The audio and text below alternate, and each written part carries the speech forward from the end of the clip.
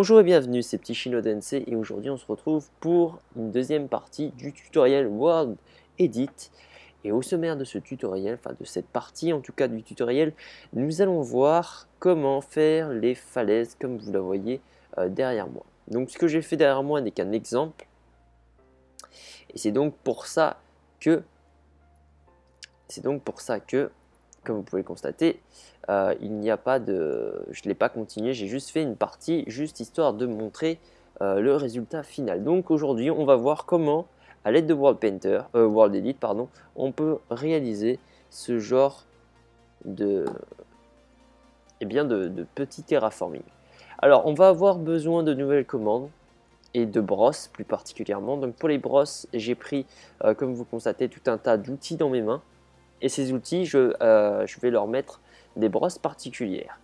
Donc, première brosse que nous allons utiliser. Alors, premièrement, vous faites une position 1, une position 2, vous cuttez une zone pour avoir une sorte de mur comme ceci, euh, plat, avec une bonne profondeur. Donc ça, c'est pour pouvoir faire euh, tranquillement notre terraforming. À présent, euh, première chose qu'on va devoir faire, c'est retirer les arbres qui sont sur le bord ici.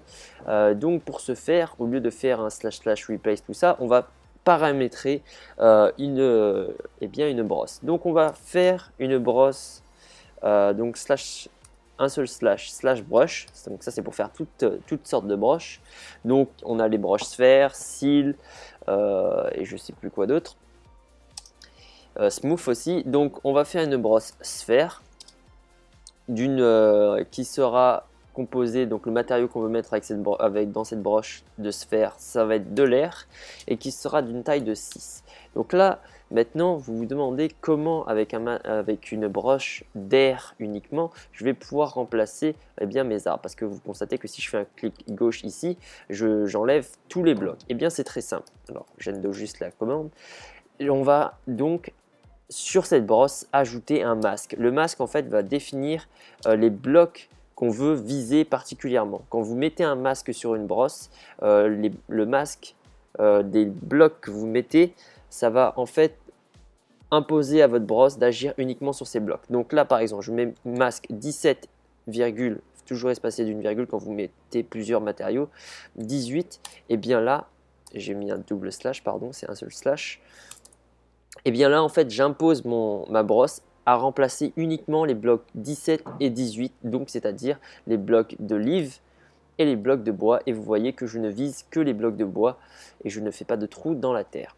Donc ça, c'est des commandes très importantes qu'il faut, faut absolument connaître si vous voulez terraformer correctement sur World Edit. Ça vous facilite grandement la tâche. Donc, on vire tout, les, le bois qui est sur le côté.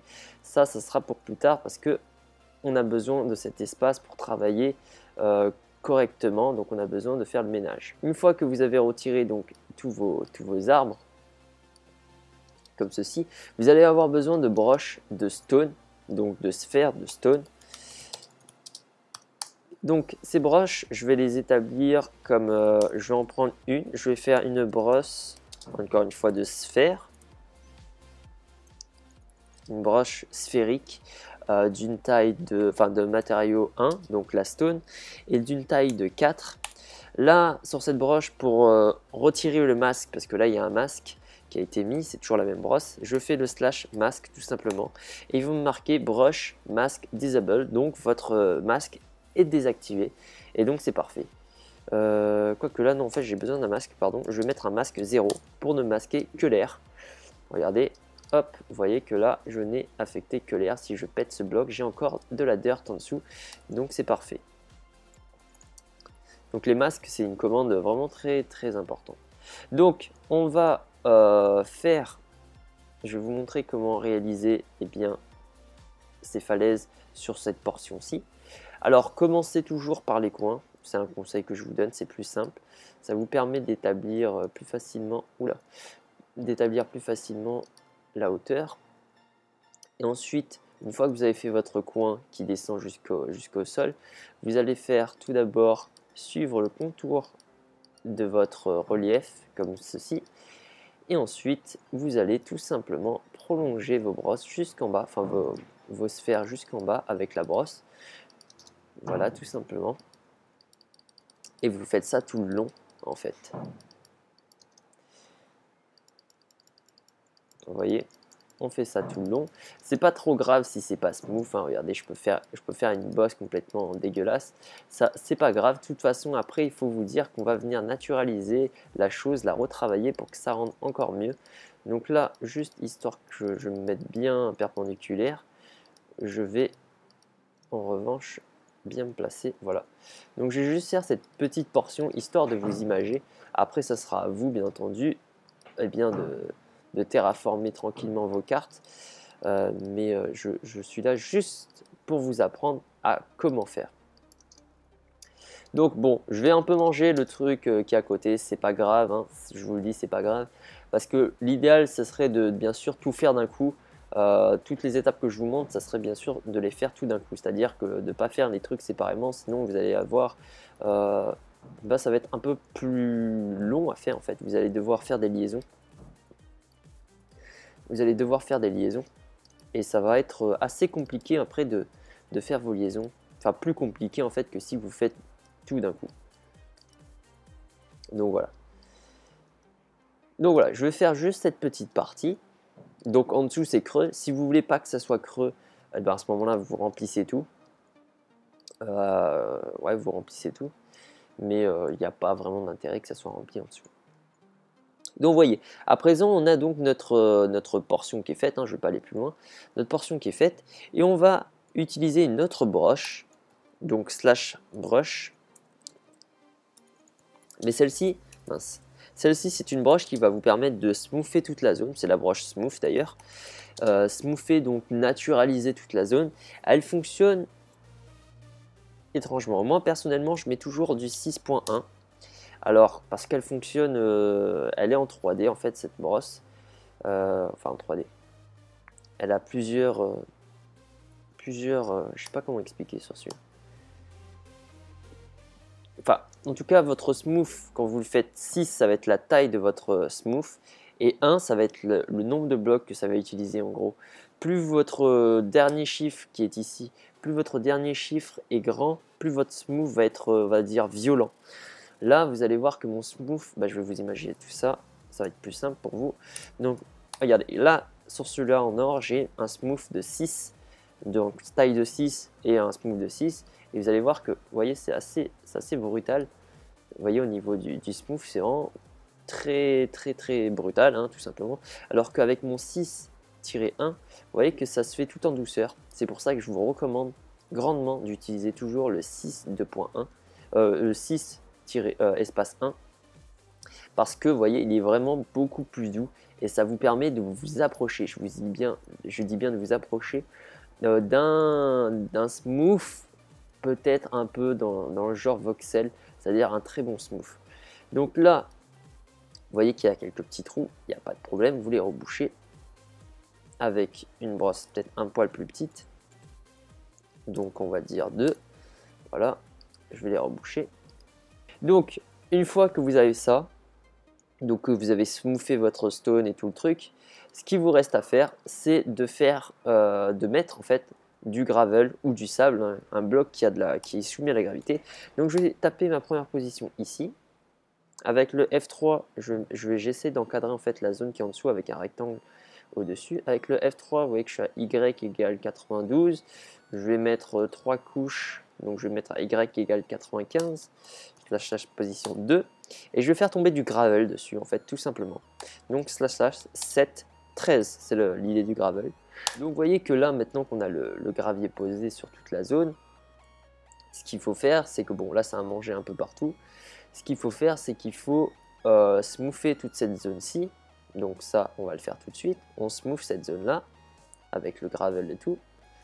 Ok pas de problème. Et ensuite, bien sûr, vous vous doutez bien que le gravier que vous avez placé, vous allez devoir le remplacer euh, par de l'herbe. Donc pour le remplacer par de l'herbe, soit vous faites une position 1, une position 2 avec un replay, ça vous le savez faire, mais je vais vous montrer une autre commande qui fonctionne avec le, masque, euh, avec une, des brosses et les masques. Donc brush, on va faire une brosse, donc slash brush de, de sphère, d'herbe, donc grasse, de taille de 6. Et là, on va faire tout simplement un slash masque 13. Donc 13 c'est quoi? C'est le gravel avec le masque. La grâce que j'ai dans ma broche ne va remplacer uniquement, euh, ne va remplacer que le gravel. Je vous montre. Vous voyez? Et ça vous permet en fait, cette, euh, cette brosse vous permet en fait d'être très précis au niveau du, du comment dire, du remplacement de, de blocs. Oui, du remplacement de blocs ça vous permet d'être beaucoup plus précis que si vous avez fait un, slash euh, un position 1, position 2, replace. Là, vous voyez que je peux vraiment voir et faire et contourner par exemple une zone si je veux, ou ne pas la contourner d'ailleurs. Par exemple, avec un slash position 1, position 2, j'aurais été obligé de euh, changer ça en herbe et changer ça en herbe. D'ailleurs, on va faire avec la même commande, on va nettoyer la zone donc avec une brosse, je sais que j'en ai tapé une, bon pas grave, une brosse fer, euh, de, euh, une broche en forme de sphère avec un matériau, c'est le 0, donc l'air, d'une taille de, on va pas faire trop grand, de 4, et on va faire un masque gravel encore une fois. Donc celle-là, en fait, on va se servir un peu comme, euh, comme nettoyeur. Et on va, vous voyez, ici, nettoyer la zone. Hop, vous voyez sur l'arbre, hop, je nettoie la zone tranquillement. Et ça permet de nettoyer vraiment précisément là où vous voulez. C'est comme un aspirateur en fait. Donc vous voyez, euh, je vais re-smooth ici pour histoire de faire la liaison euh, tranquillement. Bon l'arbre c'est pas grave, je l'ai mangé mais c'est pour illustrer de toute façon ce que je vous montre là. Et donc vous voyez que vous avez fini la base de votre terraforming. À présent, il vous reste à placer les arbres, comme ici. Donc pour placer les arbres, c'est très simple vous faites un slash tree, ou slash slash tree, je sais plus, j'ai un doute. Non, slash tree. Donc, si vous faites un slash tree, vous allez avoir les arbres normaux avec le clic droit sur votre objet, comme vous voyez ici. Ok Donc, je vais en placer quelques-uns. Donc, on a les arbres normaux.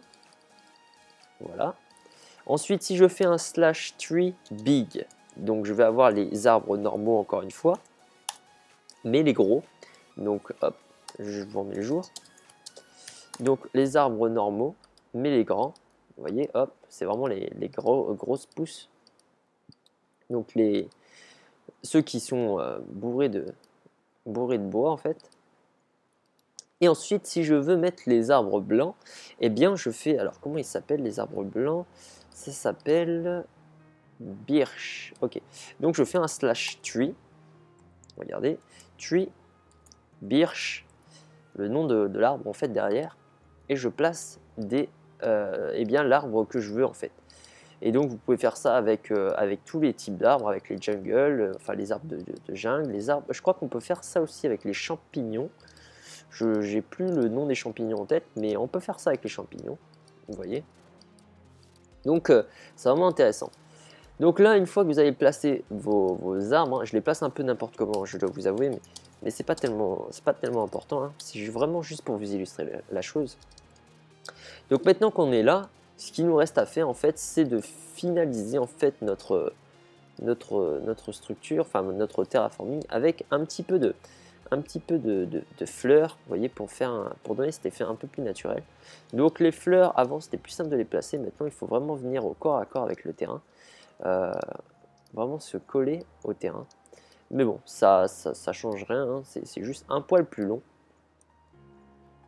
Et donc, vous voyez, on place euh, nos petites, nos petites, euh, eh bien, nos petites feuilles, euh, enfin feuilles, nos petites herbes et fleurs sur le sol, et on peut finaliser comme ceci le terraforming. Donc voilà. Vous voyez que, et au final, vous avez, hop là, une petite falaise qui le rend bien. Bon là c'est vraiment juste pour vous pour illustrer comme je vous l'ai dit, mais vous avez une petite falaise qui le rend super bien. Donc, euh, donc voilà. En tout cas, ouais, je pense que c'est tout pour ce, pour ce petit tutoriel, ce petit épisode. J'espère que ça vous aura plu. Je suis allé un peu vite, mais euh, au pire faites pause. mais donc voilà. Voilà comment il faut procéder pour faire une, une falaise. En tout cas, j'espère que ça vous aura plu.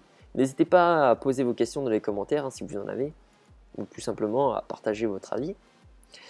Euh, sur les prochains épisodes, on verra les cascades, pas les cascades plates, mais les cascades un peu plus travaillées, je vous montrerai. enfin un peu plus sympa. on verra aussi les îles, enfin les montagnes, les îles, les îles volantes et les arbres géants.